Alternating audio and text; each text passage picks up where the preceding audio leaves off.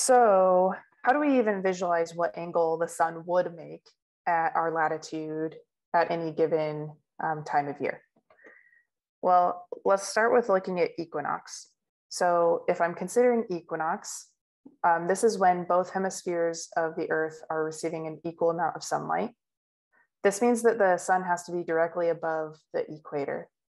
So this is the only situation where um, both hemispheres would have equal illumination. Um, and so in this case, the angle of the sun from your zenith is equal to your latitude. If you go north by 44 degrees, then the sun will be 44 degrees from your zenith.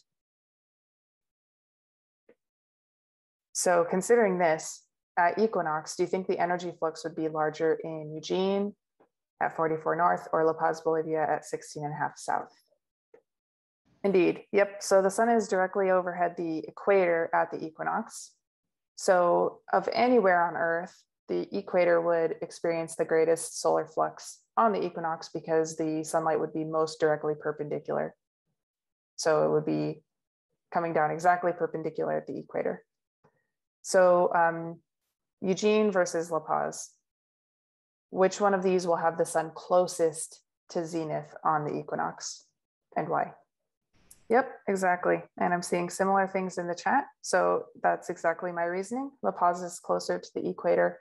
So the sun's going to be closest to zenith there. It'll still be 16 and a half degrees away from zenith, but it'll be 44 degrees away from zenith in Eugene on the equinox. So if the sunlight is at a steeper angle, then the energy flux is higher, and this is the case for La Paz. I want to try to visualize the altitude of the sun geometrically. So here's the Earth tilted at 23 and a half degrees. Um, the yellow arrows are supposed to be sunlight. And if I just pick out a single ray of sunlight that's um, striking the Earth's surface and ask myself, where does this um, ray of sunlight strike the surface perpendicular at northern summer? So this is northern hemisphere summer, June solstice uh, what location would this happen at? So what latitude experiences the sun at the zenith on the summer solstice? Well, on the June solstice, I should be really clear. Yes, so if we look at our latitude, so we're measuring latitude from Earth's equator, and we wanna know what is this latitude here that experiences the sun at the zenith on the summer solstice? Well, if we sort of untilted the whole situation by the amount of the axial tilt, then this would happen at the equator, right? But instead, we're tilted in the whole globe toward the sun 23 and a half degrees, meaning that this angle is 23 and a half degrees as well. So the latitude of 23 and a half north experiences the sun at zenith on the summer solstice. Okay, I want to draw a picture on a previous, let's see, let me come back a couple steps here. Do, do, do. Where are we? No, that's not where I wanted to draw. This is where I wanted to draw. So I want to be very clear what I'm, which angles I'm talking about, because um, there are a couple angles that have been part of the discussion so far. If I look at, dang it, let me try to draw. Okay, if I look at my horizon, and then I look at my perpendicular to the horizon, so this would be my zenith, then what I'm talking about when I say solar zenith angle is how far the sun is from the zenith. But this angle, the solar altitude, is this guy, the one from the horizontal to the solar location in the sky. And those are related to each other by the fact that they both add up to 90 degrees. So if I have my zenith angle, then my altitude is 90 minus the zenith angle and vice versa. So the solar altitude is what I'm, I've been talking about, but I did mention the zenith angle when we, in those last few questions. So I wanna be clear about that. Um, questions about these two different but related angles? Okay, so at our perpendicular at the uh, 23 and a half degrees north. On summer solstice, the sun is at zenith there. And this is given a special name as a result. So this is called the Tropic of Cancer. And there's another tropic because the Tropic of Cancer experiences sun at zenith on the summer solstice, but the Tropic of Capricorn experiences the same thing at winter solstice. So you've probably heard of the tropics, um, but this is what's kind of you know astronomically special about them is that they experience the sun directly overhead on each solstice, whereas the equator experiences sun directly overhead at both equinoxes. All right, so um, how do we figure out the altitude of the sun for any random latitude? Um, I wanna start by finding the zenith angle. So again, the zenith angle and the sun altitude, if you add those together, you get 90 degrees.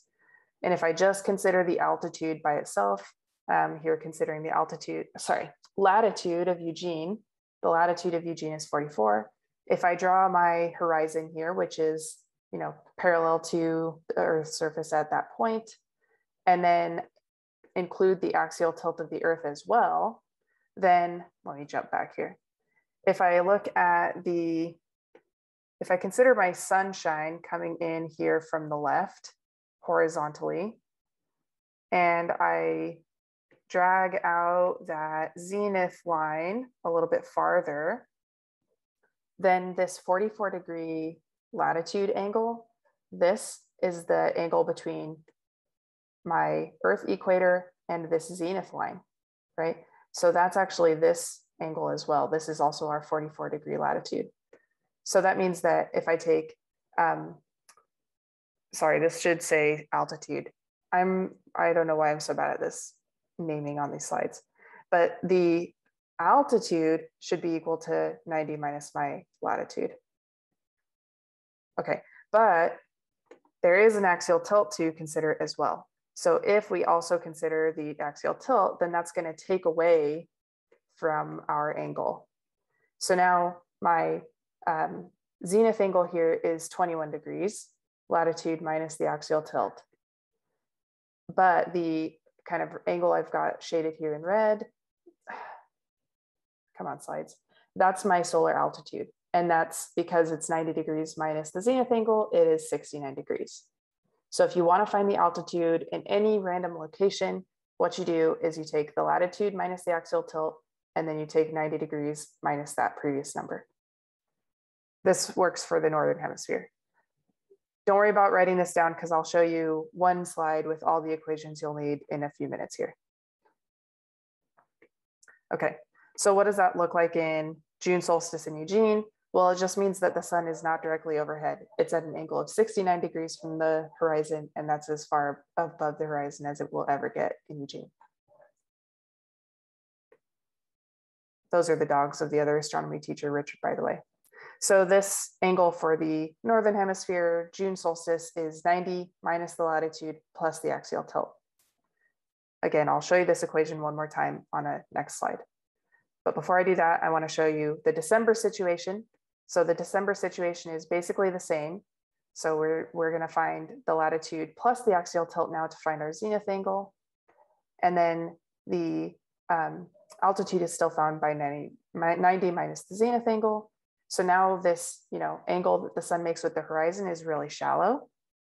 And specifically, this is how shallow, 23 degrees above the horizon.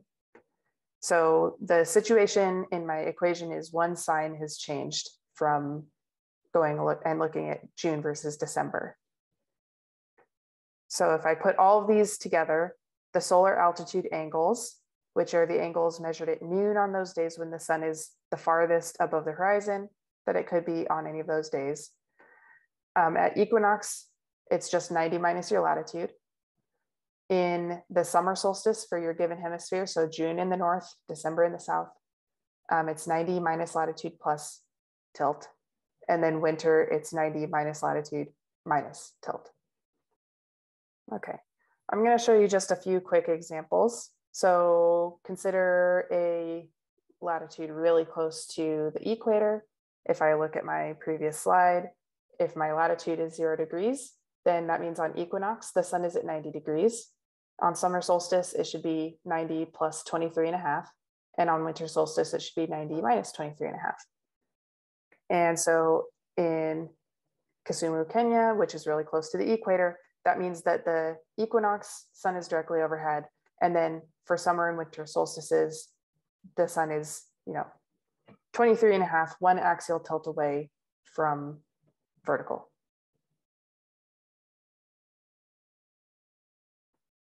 One other example, we could consider a high northern latitude like Moscow, Russia, 55.75 degrees north. In Moscow, the summer solstice is going to be um, 90, well, whatever the equation is. Can't remember off the top of my head. Uh, 90 minus the altitude plus the axial tilt. Um, in the summer solstice, it's going to be at a pretty shallow angle. At the equinox, an even shallower angle. And then at the winter solstice, an even shallower angle yet. So you can consider the entire spread of the sun on the sky, and you can predict exactly where it's going to be above the horizon at any time during the year by considering these extreme points, what happens at each solstice. Okay, so if I was going to build a solar installation in Moscow versus Kisumu, Kenya, I would probably want to install them at different angles, right? I would want to install my solar panels so that they point perpendicular to the sunlight that's coming in. So in our solar panel angle activity, this is exactly what you're gonna do. You're gonna decide what panel um, angle to install your solar panels at different locations on the earth at different times of year. And I just wanna mention before we start, we'll take a break before we start anyway, but again, that idea that we have two different angles going on here, right? This one is the solar altitude that we've been calling theta. And the um, angle that I'll have you measure is not the solar altitude. This is equivalent to the zenith angle.